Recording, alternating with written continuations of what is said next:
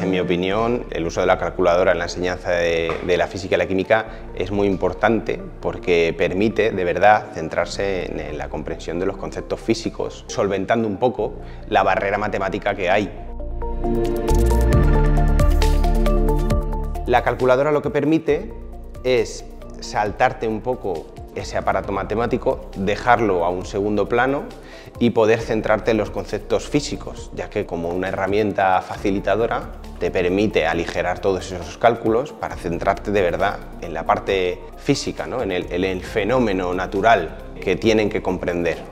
Creo que la calculadora les permite investigar de una forma más rápida y como les permite investigar de una manera más rápida, sin tener que centrarse tanto en, esa resolución, también fomenta más su curiosidad, porque no hay tanta distancia entre llegar a la, respuesta que ellos quieren averiguar y planteárselo, ¿no? pueden, pueden llegar a ese camino más rápidamente. También fomenta su inquietud, porque entonces pueden hacerse más preguntas en el mismo espacio de tiempo, ¿no? pueden avanzar más rápido y desarrollar en mayor medida su curiosidad. Sobre todo lo que he podido notar mejoría es en cómo hemos eh, conseguido ahorrar más tiempo y cómo podemos visualizar ahora muchas cosas que antes no podíamos ver y porque solamente teníamos eh, la matemática. Ahora podemos ver realmente lo que está ocurriendo detrás de todo.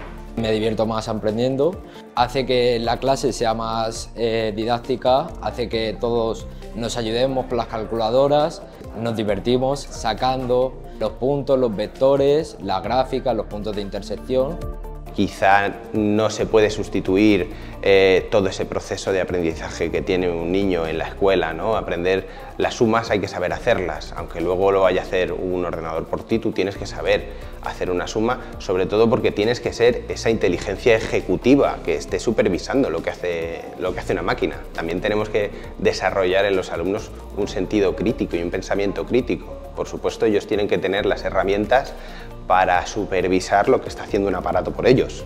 Entonces, también soy partidario, por supuesto, de que todos los alumnos aprendan antes a cómo se hacen las cosas y qué son las cosas que hacen, y luego ya, cuando ese concepto sí está bien establecido, se utilice, en este caso las calculadoras, para facilitar.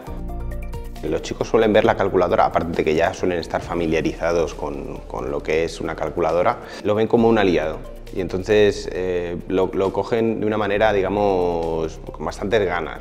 Cuando podemos ver las funciones que estamos, con las que estamos trabajando o cualquier otra, podemos ya eh, intuir que estamos, haciendo, estamos haciéndolo bien, que el ejercicio se continúa así. Quizás te das cuenta de un error que estás teniendo porque al visualizarlo es mucho, es mucho más fácil entenderlo. Es que al fin y al cabo es ver las cosas mucho más visuales, más fácil. Por ejemplo, en matemáticas te digo, hay que hacer una función.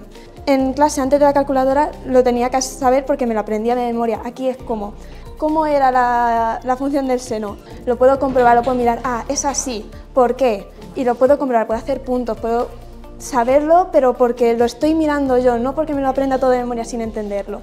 Y lo mismo se aplica a física. A los docentes que ven la calculadora como un enemigo, les diría que primero se tomen un poco el trabajo de ellos mismos conocer la calculadora y que sean ellos primero los que se sientan cómodos utilizando y que vean de verdad el potencial que tiene.